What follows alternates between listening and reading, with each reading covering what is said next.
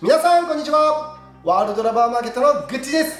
今日はですね下回転サーブが誰でもかけられるようになるやり方をやります。でこれはあのよく講習会で下回転サーブがですね、まあ、みんなもうかけられないと、まあ、そういった悩みをこういただいた時にステップ12を10分ずつやってで最後に下回転サーブの実践をちょっとやったらかけられるようになったあんあの指導のやり方ですね。こういうのを使いながら下回転サーブがこう誰でもかけられるようになる方法を2022年の最新版ということで制作させてもらいました。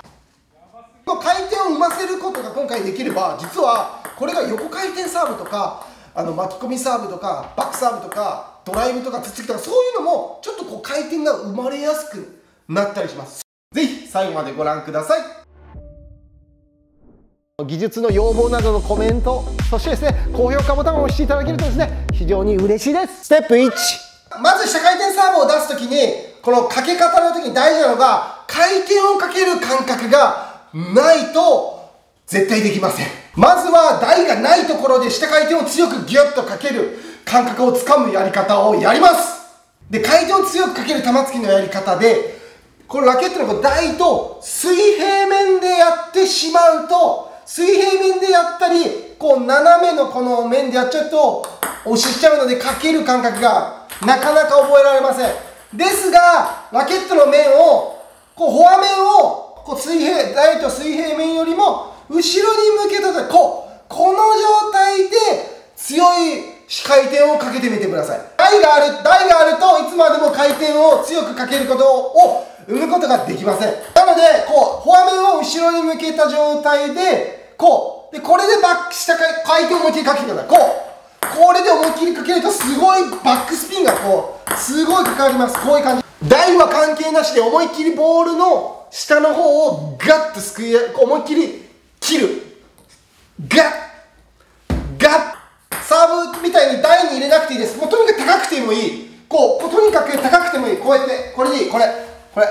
これこれこれこういう感じ。だ思いっきりギャッ！思いっきりギャッ！思いっきりギャッってやると戻ってきます。斜め面だと回転がかけない。で水平でも飛んでっちゃう。戻ってこない。感覚としてはボールの底を薄く速くこする感じ。薄く速く。フォア面を後ろにした状態でやるとでえぐると。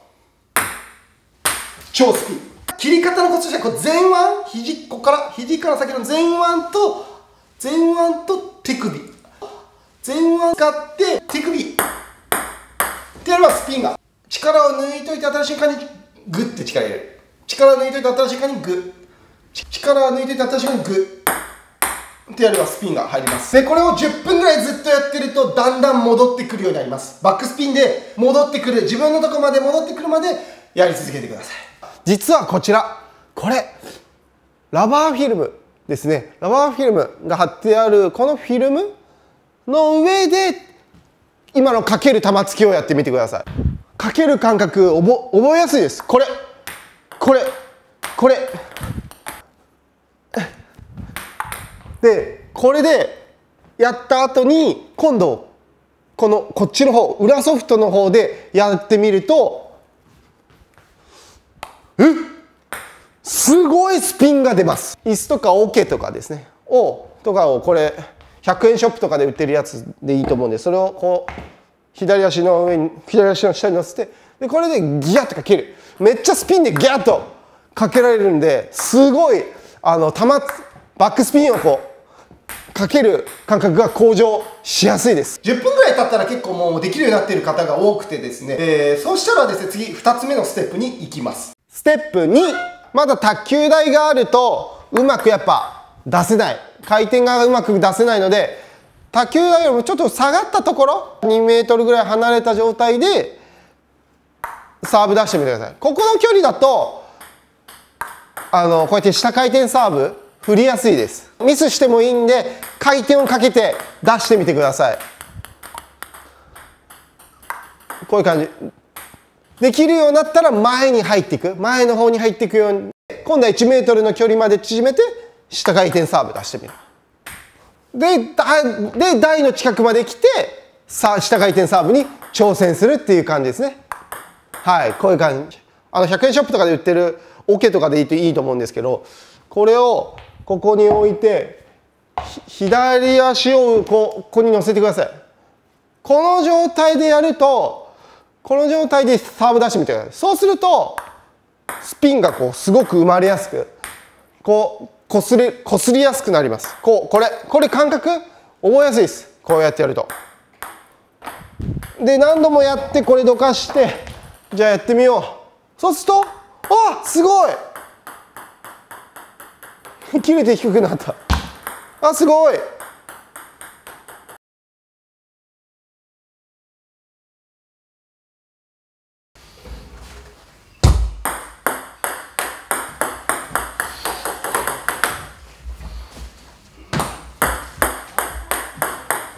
で3いよいよ3は実践の下回転サーブの出し方をやっていきます。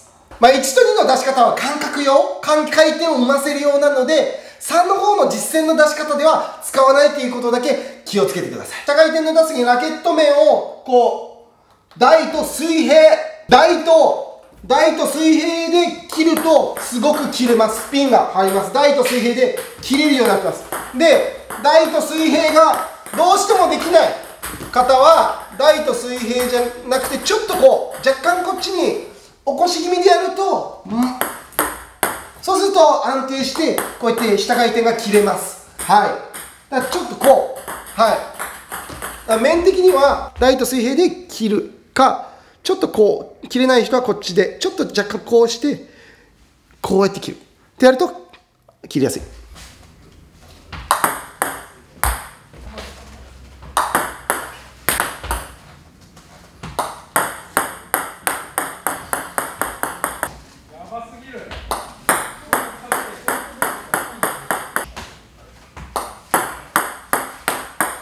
薄く早くこする感じ薄く早く早く薄く早くするって感じでやりますと切れて下地さんがこうかけられるようになります。でこれは手首が強すぎても飛ばない。であの手首なくて前腕だけで押しちゃってもこう押しちゃう弾いちゃう。なのでボールの底の部分を前腕で引いて新しいが手首。前腕で引いて新しいが手首。あの非常にこう下回転がこう切れやす切れて安定しやすくなります。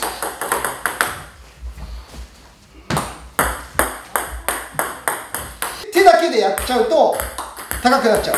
バウンドが高い位置で掴むのでなので膝膝をですね当たる瞬間にこう落としちょっとだけ少しです少し落とし気味にする体を使う姿勢を当たる瞬間に低くしてもらうと低くいきます。低くして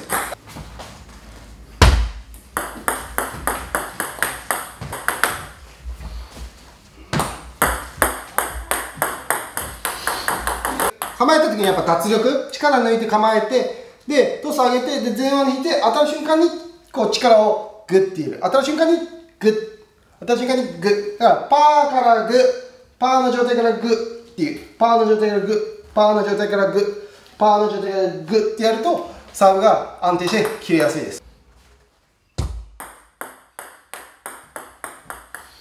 で実際最後に下回転サーブを出す時に短く今切れている状態で私やってますけども実際短く切るは難しいです。短くやらなきゃってのでこうやって当たっちゃう。そーっとやっちゃうからそーっとやったら回転がかからないので下回転が覚えられないです。なのであのー、最初覚えやすいのがこの相手のここ。バックの深いところここら辺。このあっちこの深いところに狙うようにするとスイングを150%にできるのでギャッと、あのー、回転のマックスも向上するので皆さんの下回転サーブが切れるようになります。なのでその後に短いサーブやると短いサーブもこうやって切れるようになってくれるということですね。切れなかった人が下回転がかけられるようになった。やり方がこういう感じでした。ぜひですね、えー、参考にしてやってみてください。最後までご視聴いただきありがとうございました。